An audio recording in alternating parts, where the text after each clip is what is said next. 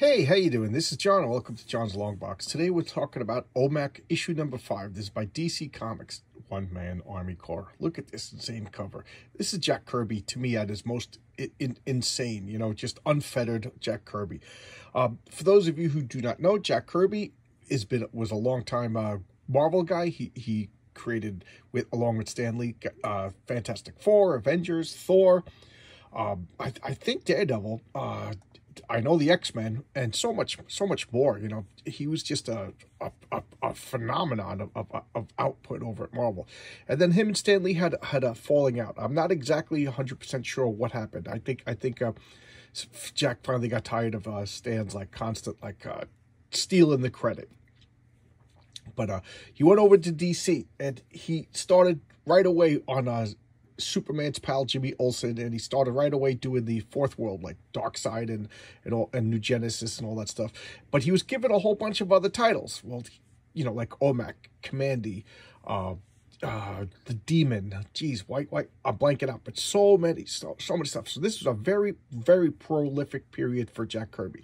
He eventually went back to DC. I think he went back with uh, 2001: A Space Odyssey, and then uh, he went did like Black Panther and and, and uh, Machine Man just just never stopped working, never stopped working. The guy was a phenomenon.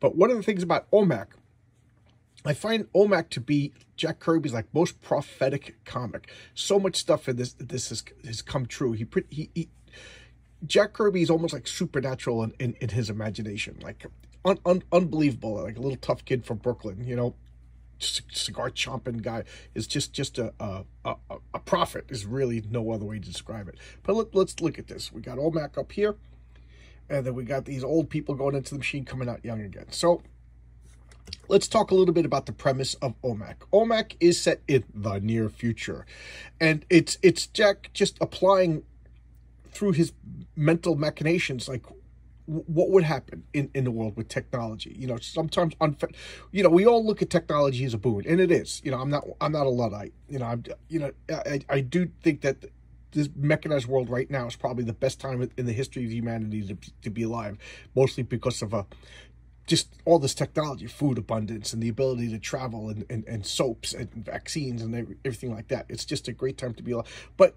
let's not kid ourselves. The, the potential for disaster is also very high with nuclear weapons and bioengineered diseases and, and things like that. With the ability to travel, we also have the ability to spread disease. But that's neither here nor there. I'm just, I'm just uh, waxing philosophical. But anyway, so Jack Kirby was, this is pretty much what this comic is all about. Technology, just un, unrestrained technology. And uh, it's, it's just really, really outstanding. Let's start with this wonderful uh, Batman and Robin. It, I, is, is this Neal Adams? I don't think it's Neal Adams. I, I no, it's not Neal Adams, but I, I don't know who does. But anyway, Batman is a genius because he knows that Twinkies are delicious, and he, he, he also knows that fruit pies are, are disgusting, horrible, and, and, and evil. So, here we go. So, the most horrible menace in human history, hatched by the vicious criminals of the world, that's coming. That's like the catchphrase. The world that's coming. To watch it is to grow indescribable. To let it spread to unthinkable to stop. It cold will it cold will take OMAC. Wow, that's pretty awkward. But anyway, I probably read it wrong. So what is going on? Uh, OMAC has, has found basically an, uh, an underground uh, kidnapping ring. And, and what are they? What does the kidnapping ring do? They're kidnapping like hot chicks and, and, and fit guys. For what purpose? They dissect them, and you could this old lady over here could have her brain transplanted into the hot chick. So they're capturing, murdering, enslaving these these these hot chicks and hot guys as as cattle, as stock for for rich people to to to to steal their bodies. It's a terrifying concept. Let's look at this. Volume 2. This isn't the, uh, you know, OMAC wasn't canceled and start over again. DC used this uh, magazine numbering style back then. What, what it was is every year it was a different volume. So each year is a volume. So this is the second year in its publication and it's number five. How is that possible? Well, I think it came out like every three months. You know, Jack Kirby was working on a bunch of comics. And uh, I don't know, to me, that that kind of kills the enthusiasm. I, you know, monthly comics that's the thing. You know, to to to have them uh, come out once in a blue moon like this is is it's going to kill the momentum. So they developed the, these bad guys developed a computer that could swap out brains and he these are all the captured people so, so you want that body that's how much you're going to pay you know? You want that body you're going to have to pay a certain amount. So uh it, it like i said this is just a terrifying concept you know? I will this this happen? You know is this the world to come?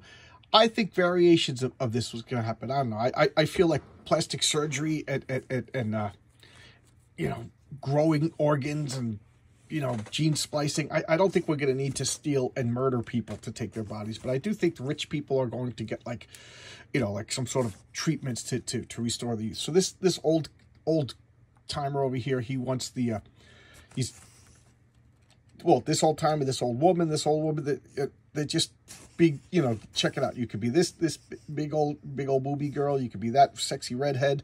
You want to be that guy you know whatever you want. What whatever you want. you got the money? Doesn't matter. And omac is horrified. I can't believe this is going on. So he's he's being uh briefed by the uh, global peace agency. And the global this this is just brilliant. You know I, I i don't know. I'm kind of in awe of this. So this is a uh superior so he's talking, you know, this this guy's global peace agency guy, and he's talking about this guy who's running this this body bank, as they call it, and uh, so now what's he doing? He's he's putting on his uniform. What is his uniform? He's removing anything that gives him a racial identity. In order to be a global peace agent, everybody has to identify with you, and if everybody identifies with you, that means you have nothing of of any characteristic. So he's his hair is a wig he's removing his eyebrows he's everything like that and then they put on this spray that just gives them you know like i guess like this conglomeration of every skin tone of every race on earth. So it's just this like tannish whatever. You can't see his eye colors.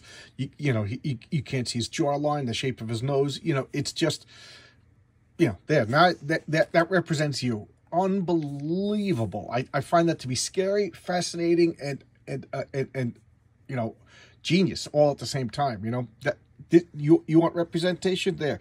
You're gonna get so much representation that that uh nothing is distinguished. No, no, there's no features.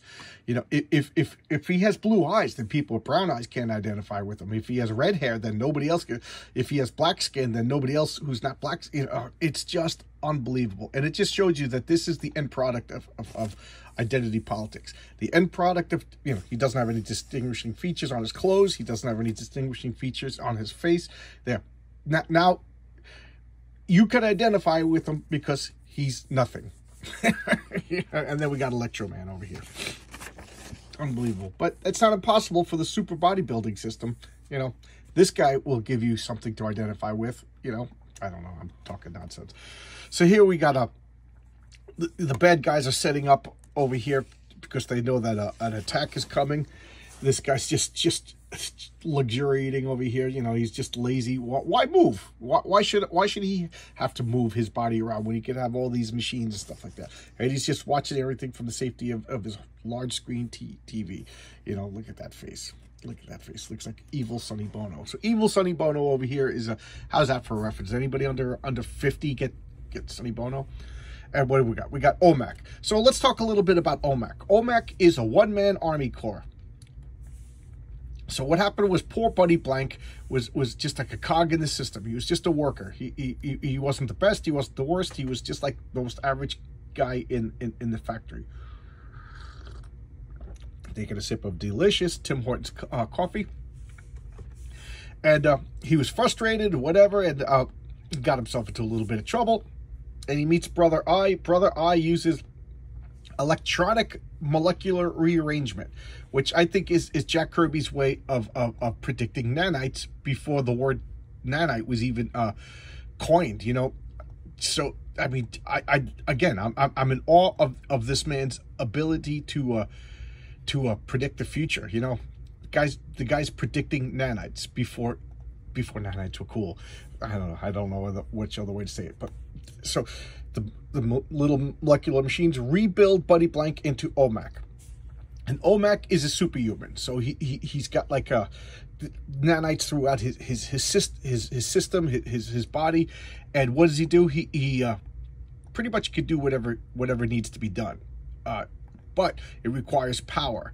So the more he exerts himself, the more power he uses. And then if he uses too much power, the brother eye has to like beam more power directly to him. So he's kind of like this. And what is brother eye? Brother eye is the big satellite in the sky that uh that. Oh, here we go. Here, brother eye. Brother eye is this big satellite in the sky that uh harnesses like solar energy and nuclear power and, and just constantly beams him whatever he needs. It's also scanning everything. So this, you know, OMAC and Brother Eye are, are a team. And Brother Eye so far is benevolent. You know, I, I, don't know about you, but when I see a big supercomputer called Brother Eye floating in the sky, it raises my hackles. But uh, so and the Global Peace Agency, you know, I, I, I keep thinking about like globalism and the UE. And so it took me a while to realize that like this is like Jack Kirby, he you know this, it, he predicted the future, but uh, so far the Global Peace Agency really are good guys. And brother I is is a good guy. OMAC is a good guy. It's and and, and uh, they have the best interest of of humanity. It's I don't know, but something about this whole concept like puts me on a, on the defensive. Why? Because I never finished high school. Thank God I read this comic. Now I can get my diploma. You know what's funny? Even last night, last night I, I had a dream that uh, I didn't finish high school. Uh, is that weird? I'm 50, 54 years old and, and I'm, I'm still having dreams that I, that I haven't finished high school. I don't know. And, and it's a stressful dream. I, I'm like, like, because like, it, I, I know this has nothing to do with OMAC, but I, I'm a crazy person. But in this dream, like, I'm going, I, I, I, for whatever reason, I'm already in school. I've, it's one of my recurring dreams, and I have to finish school. But I already have a job, I have a house, I have a wife, and uh, some I'm in the middle of class and I'm just like, I don't have to do this. I don't have to do this. Like I'm gonna get in trouble. I'm not gonna get my diploma, and but but I already have a job. I, I don't need to do this.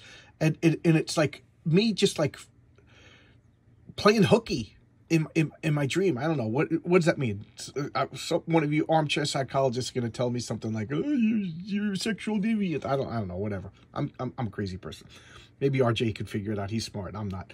All right, so now RJ is the uh, guy who runs the uh, Fourth Age webs uh, YouTube channel. He he loves he loves OMAC. So RJ, tell me tell me about my dream. Make make make a 30 minute video telling about how I'm a crazy person. All right, so now they're rushing off to uh, to save these people. Like I said, he's a good guy. He, uh, so what what's going on? He he's he's infiltrated this like den of of, of bad guys, you know, and, and they're all just ignoring him. They're like, because they they're still individual rights and there's still a burden of proof in, in this Jack, Jack Kirby future. So so brother eye just can't go ahead and start beating up everybody and, and, and attacking and be like, you know, uh, muscling them around. These guys are just like, yeah, I don't even say it's like, hey, you got nothing on us. So they just pretended there's nothing there. They, they, they do a target practice against like holographic monsters. And Buddy Eyes is like, I know you got the body banks. I know you're doing all this stuff. And they're like, yeah, prove it, you know, because, you know, I, I, as, as bad as, as these murderers and, and kidnappers and basically like sex slavers, you know, every horrible thing. The government still needs to provide burden of proof. They can't just go arrested everybody. So I, I do like that Jack Kirby is using a little bit of like a classical liberalism in, in, in his stories of like, you know, proving that Buddy Baker and this this this horrible like not horrible, but you know what I mean, like this this all-seeing eye in the sky are still you still bound by like constitutional law. Otherwise, they could be just as bad as as, as the bad guys that they're going after. I don't. There you go. I'm, I'm getting a little philosophical, but uh, so they're just like laughing at him, and now they're gonna attack him. They're like, "Listen, big law guy, you're attacking us. You know, you're, you're coming into our space. We're not doing anything." So uh, Buddy Baker's just like, "Okay, now I can defend myself. You're attacking me. I'm just asking questions. I'm not a, you know, I'm not arresting you. I'm not doing anything. I'm just a private citizen and uh, you guys are attacking me. So now he's defended himself, basically showing off how powerful he is. It, it's it's a little legal standoff, and I do appreciate that they they're not making Buddy Baker and and and, and uh, Brother Eye as these as these all-powerful fascists. And the Global Peace Agency could just arrest people because, you know, they do have to have burden of proof and, and, and, a, and, and, a, and a, a legal system to follow. So this guy is willing to give up the goods. Why? Because he found out that they took his girlfriend. He's going out with some, some hot chick, and the, the, the, the Sonny Bono, the fascist Sonny Bono guy, stole his girlfriend because he could make a pretty penny selling the hot chick to to some some some you know dowager woman. So he's just like, all right, you know, I I, I love my uh, girlfriend.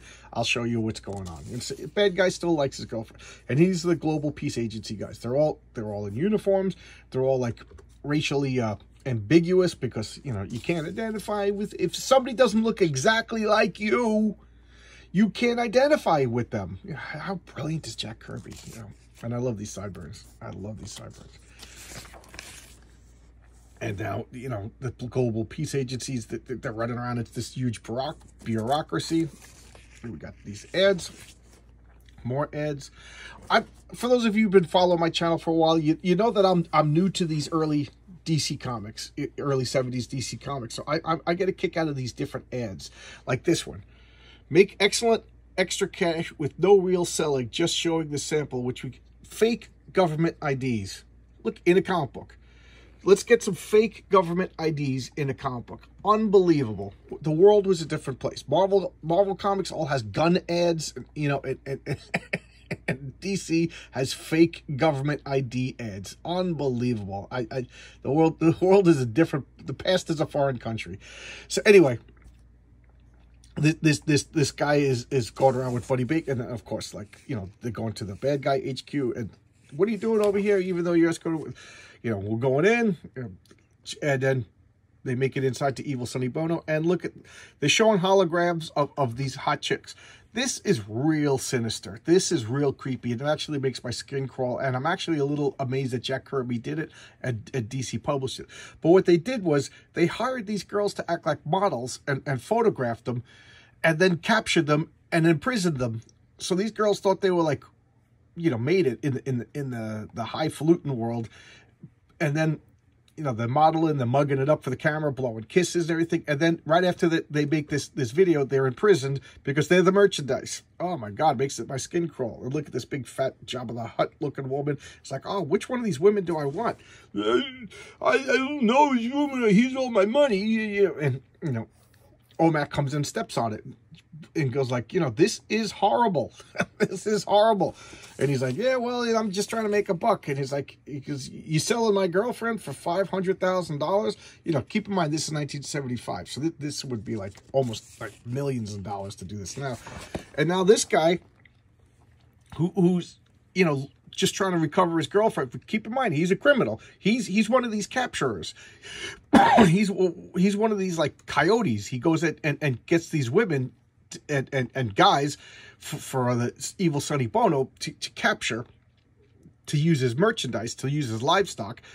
But it, it didn't bother him until it was his girlfriend. And now he's like, $500,000? And the guy's like, I'll split it with you. No, I, actually, his share was 500000 So now he's actually like, oh, well, I'll get another girlfriend. And OMAC is like, what is wrong with you? You know, like, just when I started to think you had some sort of decency, he's like, he's you know, I'll get another girlfriend, you know, but I, I, I need to make some money. And he's like, oh my God, like, you know, he's a, he, he knows he's a piece of crap, you know, and now evil Sonny Bono is going to exterminate him. And here comes the global police agency guys. They, they just come in it and spraying everybody. They don't use guns. They don't use anything lethal. They, they just like spray you with like knockout gas. Peace agents and fat girl, you get your ass, you know, she's ashamed of herself, as she should be, blob. And OMAC is just, notice OMAC didn't really get violent in, in this, you know, he kind of just observed and, and, uh, and called it the Global Peace Agency because, uh, like I said, he, he, he's a good guy. He doesn't need to go busting in people's faces unless it's but he can bust in people's faces. He's when when Brother Eye amps him up with these nanites, he could be like Superman level tough. And here we got the letters page. I always get a kick out of the letters page. what, what is this? Oh, uh, soldiers. Cool. Okay, soldiers. Prizes are cash and seeds. So you know this this is OMAC. I found this to be very scary. You know, uh, this whole series, the next two ish stories the next two issues are about a guy who steals the oceans and whatever. I find it to be funny, but that, that I'm not going to showcase them because I thought they were the weakest. I think Jack was running out of steam. Maybe he was doing too much. But the next next two issues are, are about Doctor Scuba, and Doctor Scuba could could. Uh, compress the the uh, molecules of water and put them in the little tube so he's like stealing whole lakes and everything and he's practicing up for uh to, to steal the Atlantic Ocean. And why? So so he could hoard all the world's oceans and hold the world for ransom. But he could rearrange molecules. So why not just make gold? Or better yet, just make the food and everything that he he needs. Like I just find it funny when you can control molecules. So so you want to hold out for money. If you could control molecules, you have no need for money. But anyway, that's like and then and then it just abruptly cancels. And I was just looking up to see if uh, if OMAC is in other stories. Apparently, it gets tied into Kamandi, which I haven't started reading yet. I got like the first five issues of Kamandi, but uh, uh you know, I I I need to uh need to read them. I, I I buy too many comics and I don't get a chance to read them all yet. So anyway, this is OMAC. I, I find it to be fascinating. It's only eight issues, and it's not really that expensive. I do not know if it's collected anywhere. Uh, that that I did forgot to, to look up, but I recommend it. I recommend it. It's it's just fascinating and uh, it, it's kind of scary and uh, geez, what, uh, 1975, so uh, 30, 40 years ago, and, and a lot of this stuff is like coming true. You know, a lot, uh, such good, such a good comic. I don't know, too much coffee. I'm getting getting a little amped. It's it's uh, it's Monday, Memorial Day. I'm off today, and I got friends come over. We're gonna play a, a, a big game of Twilight Imperium later on. So I'll see you guys tomorrow with another video. Bye bye.